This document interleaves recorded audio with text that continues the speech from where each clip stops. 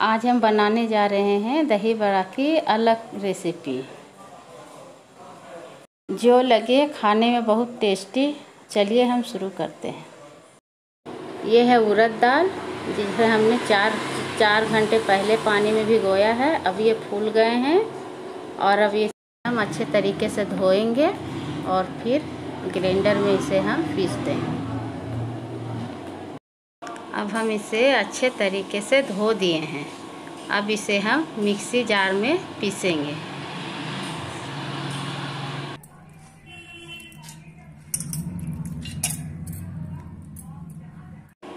इसे हम mixie grinder में पीस देते हैं।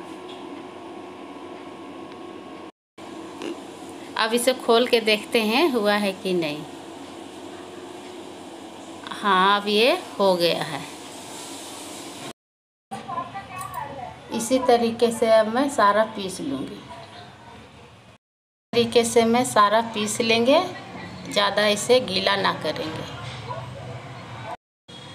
ताकि बड़े अच्छे बने। अब हम इसमें नमक मिलाएँगे स्वाद अनुसार। मैं इसमें बेकिंग सोडा डालूँगी।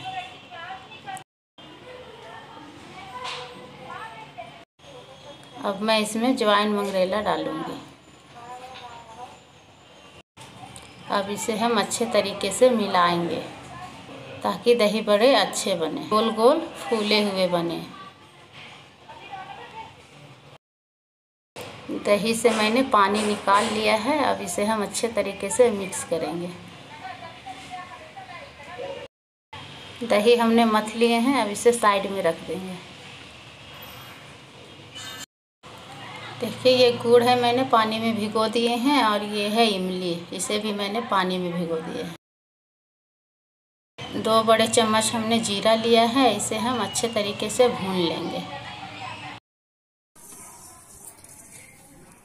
देखिए, मैंने इसे कढ़ाई में डाल दिए हैं, धीमी आँच में इसे हम भूनेंगे। भून रही हूँ। दो मिनट तक इसे भूनेंगे और ध्यान रखेंगे कि जले नहीं।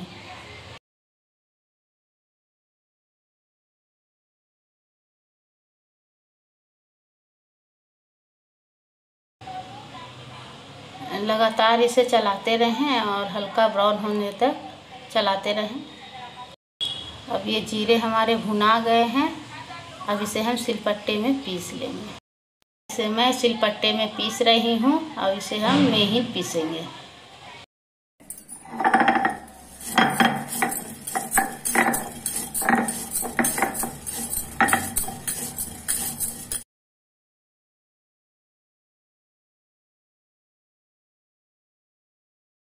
देखिए, अब ये महीन हो गया है, अब मैं इसे उठा लूँगी। दही का पानी ये निकाले हैं, उसमें एक कटोरा पानी डालेंगे।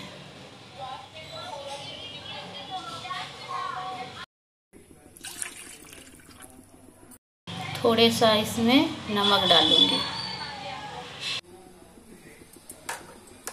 अब इसको हम मिला देंगे। मैंने कढ़ाई धीमे आँच में चढ़ा दिया है। अब मैंने कढ़ाई में तेल डाला है। तेल गरम हो चुका है। अब मैं बड़े को एक एक करके डालूँगी।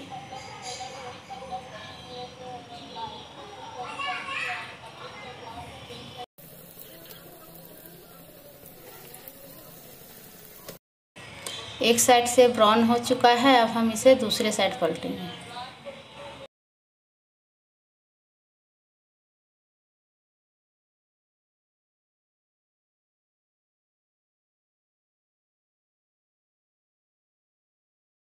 ये दोनों साइड से पक चुके हैं, अब हम इसे निकाल देंगे।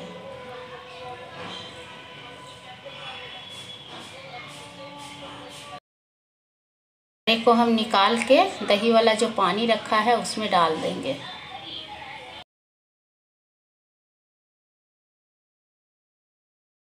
हम बड़े को दबा के देखते हैं, पानी इसके अंदर सोख चुका है तो हम इसे बाहर निकाल लेंगे।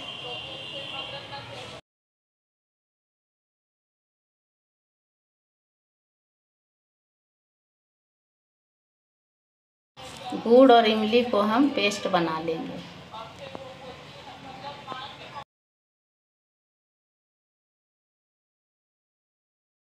अब हम इसे प्लेट में तैयार करते हैं। देखिए, मैं इसमें बड़े रख रही हूँ। इसके ऊपर मैं दही डालूँगी।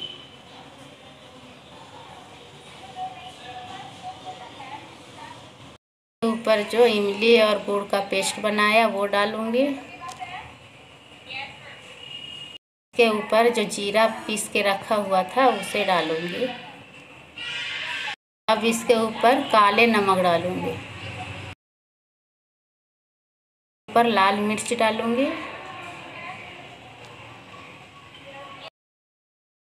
देखिए, ये दही बड़े देखने में कितने खूबसूरत लग रहे हैं। खाने में भी उतना ही टेस्टी है। आप लोग भी अपने घर में बनाएँ और कमेंट कर कर बताएँ कि हमारा रेसिपी कैसा लगा। अगर हमारा रेसिपी आपको पसंद आए तो लाइक, शेयर और कमेंट करें। धन्यवाद।